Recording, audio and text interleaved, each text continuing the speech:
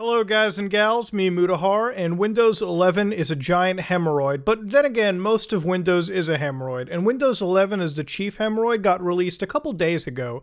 You may have noticed on YouTube a few channels have been doing reviews of an operating system, and I have nothing against that, absolutely, but oh, I hate that file I'm so I swear I've tried changing its battery. At this point, I'm gonna go Mortal Kombat on it in a goddamn minute. But ladies and gentlemen, Windows 11 effectively launches, and to be completely real with you, it's not much more different than Windows 10. We basically already knew this. I loaded up the start menu and I effectively found that there was no crazy cringe social media app, none of that Facebook built in Mark Zuckerberg spying on me. None of that TikTok nonsense. There were a couple messaging applications, but you know, it is what it is. Microsoft's an indie company. They got to be able to sell you a license and advertise to you at the same time. There is, of course, the uh, taskbar in the center. You can change it to the left. God thank you. I don't know why they didn't include a right option for crying out loud, but whatever. We can only innovate so hard. Now, ladies and gentlemen, if you don't know, Windows 11 has a set of new requirements. Oh, yeah. They basically require you to have a TPM module, which is a trusted platform module, and they also require you to have Secure Boot enabled.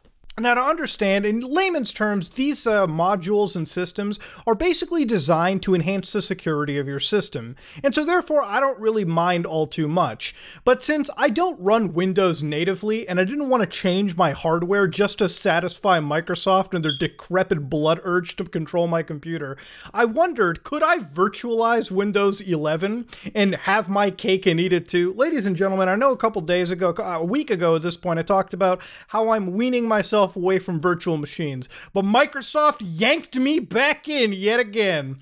So I decided to test myself. Do I have to abide by the requirements? Now, you've probably seen a couple tech channels basically change a few files around and get rid of the requirements for Windows 11.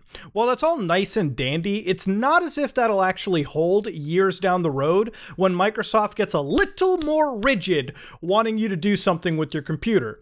So to understand, today we're going to virtualize the system and basically install Windows 11 while spoofing all of the requirements that it wants. Now, this video basically requires that you follow my virtual machine videos where I set up a gaming virtual machine underneath Linux.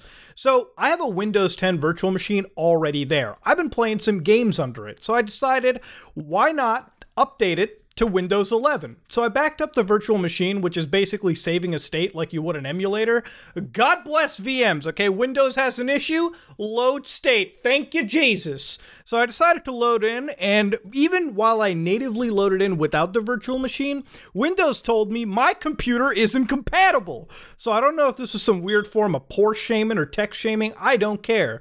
Basically, Microsoft said my computer didn't have a TPM and it didn't have Secure Boot enabled. Now, a lot of you gamers out there who probably have gotten the same message, don't worry, you have those features built into your systems anyways. You just really have to toggle and enable them. I, however, didn't want to change my hardware to satiate Windows, so I decided to go into my virtual machine and I decided to download a few packages. One of them was SWPTM and a few other tools for it, which, as you can guess by the name, is an abbreviation of software TPM. I might have gotten that reversed a bit. But the point still stands. By installing this package underneath Linux with a simple command line prompt, I could then go into my virtual machine, add an emulated TPM component. I really don't see what device I had to pick. As long as I emulated a 2.0 module, we were pretty Gucci. I also had to go into the firmware and change one line where I actually picked the firmware, the BIOS firmware, to be the secure boot version, meaning that after I did all this, Windows was satisfied. So understand, my native computer is not compatible with Windows 11. However, I made the virtual machine compatible with Windows 11. So I booted in, updated Windows, and it didn't really give me the prompt, so I had to go to like download Windows 11, and there's like three options for it. I picked the one where Microsoft just downloads and updates for me, and it took like around an hour to get going. It was a pretty lengthy install. There was a few restarts starts, but lo and behold, there was Windows 11, ladies and gentlemen. Now, to understand, I'm having a few issues running this natively. Obviously, I'm not matching any of the requirements, but Windows 11 booted up just as I would expect it. And it is what it is. It literally is just Windows 11. Why I dislike Microsoft Windows as a whole is in 2021, this is still one of the main operating systems. I'm looking at you too, Mac. Don't don't look away. This is still one of the main operating systems where I have to blank out my screen and let it update while I can't touch my computer at all. Why can't we be like modern day operating systems and just update it, throw that window onto the side, and continue doing whatever it is that I would? Oh, wait, it's Microsoft. They like to diddle me somehow. Now, to understand, there's a few games that have come out which uh, are actually requiring Windows 11 with Secure Boot and uh, TPM as well. I think one of them is Call of Duty Warzone, which uh, really wants to implement a lot of these new feature sets just so they can run their games without any fear of hackers.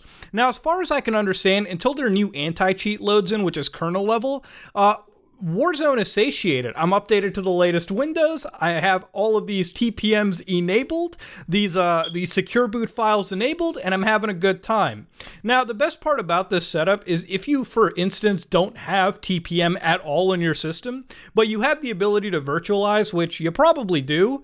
Actually, you probably also have TPM and you're probably not figuring it out you can actually run Windows 11 with all of its requirements without even having the requirements to begin with. Yeah, fuck you, Microsoft. We beat you, dude. I beat you at your own game. Get out of here.